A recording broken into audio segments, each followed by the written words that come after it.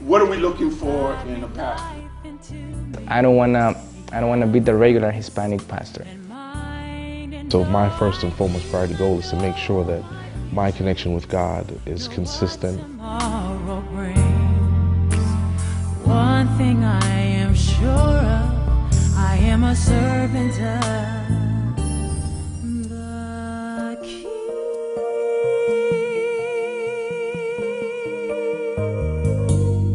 Pray, ask the Lord to give you a shepherd's heart for people.